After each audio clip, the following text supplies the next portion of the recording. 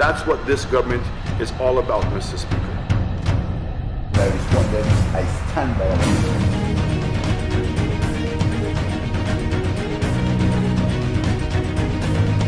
You have the right, Master people, you have the right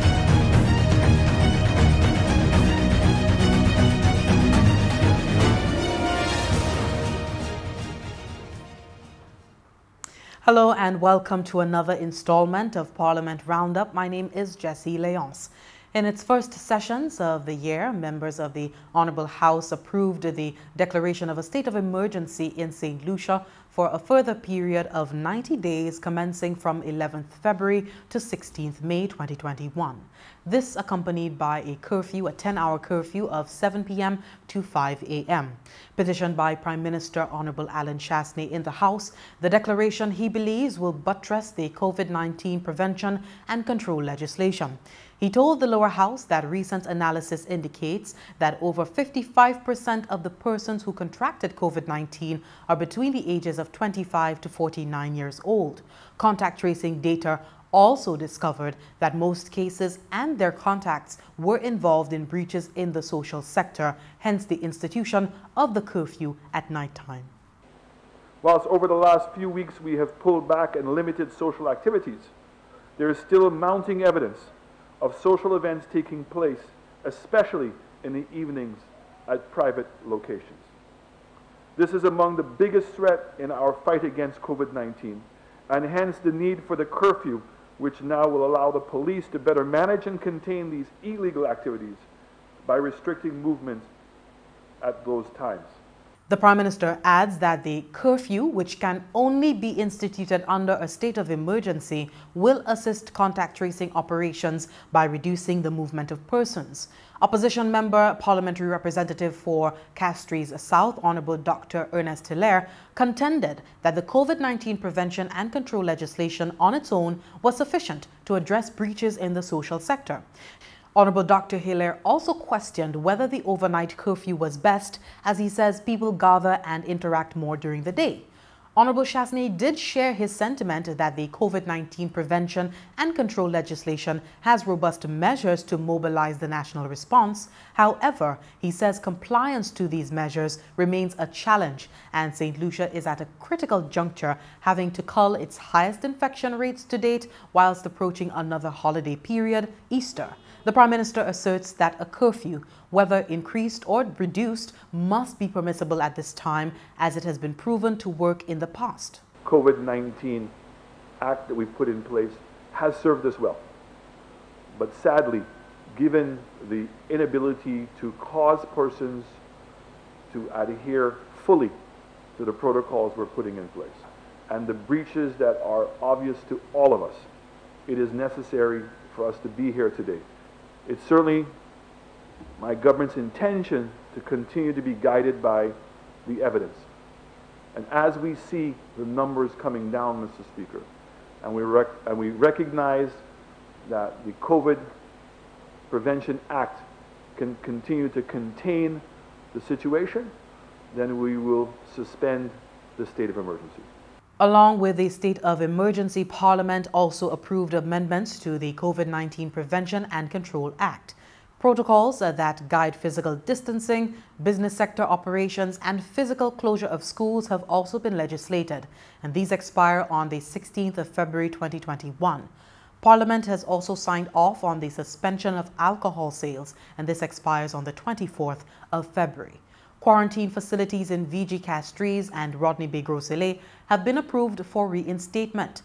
The rapid antigen uh, test has been inserted into the legislation alongside the PCR for COVID-19 testing in St. Lucia. And while the PCR test remains free, the rapid antigen test will cost no more than EC $100.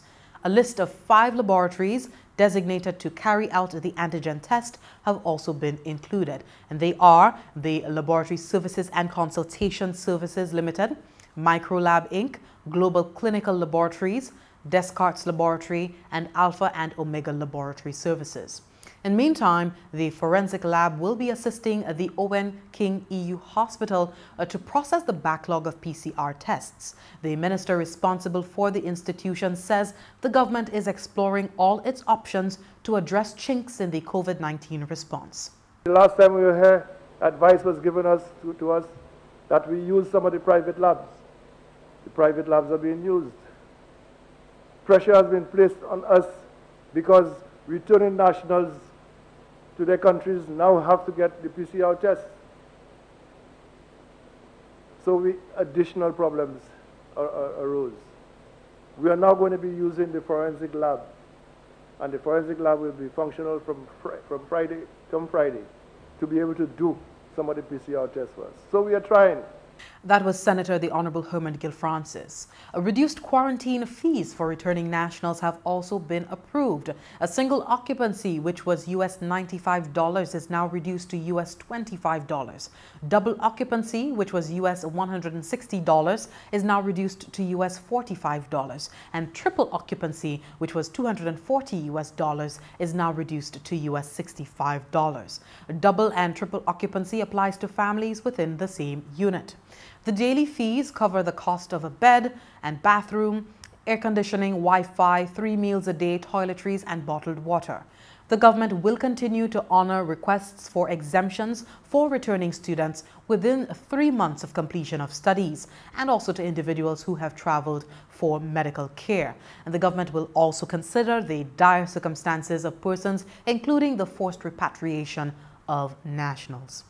Uh, travel requirements have also been adjusted in the legislation and prior to traveling into St. Lucia, individuals must now have taken a test and have a negative result for that test five days before arrival instead of the previous seven days. Minister for Health and Wellness and Leader of Government Business in the Upper House, Senator the Honorable Mary Isaac explains.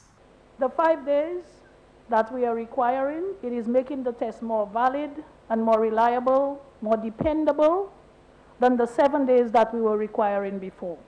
Because of the spike, Madam President, we have decided, and based on the technocrats' um, advice, we have decided to tighten the space between the time that the people take the test and the time that they show up on our shores. So we are just ensuring that we have a test that is more valid than the seven-day test. Leader of opposition business in the Senate, Senator Gideon Ferdinand, expressed concern that there was insufficient basis for the adjustment to pre-testing. Even if we do not believe that we should move from seven days to five days or from seven days to any number of days, there is a trend of thought from all of the practices that all countries are trying to reduce or to minimize the period between the time the test was taken and the time the, the visitor arrives at your shores. In some countries, they have decided to test upon arrival, and in some countries, they've gone to three days, like I mentioned. We have decided to move from, from seven to, to five. It's not just a statistical move, Madam President. There has to be something to, upon which this is predicated. Senator Honorable Isaac clarified that the reduced pre-testing period will increase the validity of the negative test as there have been instances of arrivals testing negative seven days before travel and contracting the virus during that time gap. And she indicates that the five-day pre-testing will be subject to review after assessment. Why I said we will wait and see what happens is because we are instituting the five days. But when our diaspora, people in our diaspora get here and they express the issues that they are having, you may well see that we have to move to another, another measure where we may start having to test when people get here as opposed to just requiring a five-day test. But this is very fluid, Madam President. So I did not want to go into all of what the technocrats are looking at when we try to put measures in place to control the virus. And finally, Parliament also approved the value added tax concessions for February and March 2021 on imported barrels that carry personal items, food, clothing, toys, and other household consumables. Independent Senator Mauricio Thomas Francis commended this initiative and used the opportunity to highlight the continued remittances and other resources that St. Lucians in the diaspora send back home despite their own challenges in this pandemic. The barrel concession is very useful because it provides much needed help to St. Lucians that are struggling and cannot make ends meet to actually take care of their basic needs. We need to be very, very thankful and not to take for granted the assistance that families receive from the diaspora and that was Independent Senator Mauricio Thomas Francis there. Well, we've come to the end of another edition of Parliament Roundup for the parliamentary proceedings on the 9th and 10th of February 2021. My name is Jessie Leonce signing off. Do stay tuned for more NTN programming. Goodbye. That's what this government is all about, Mr. Speaker. I responded, I stand by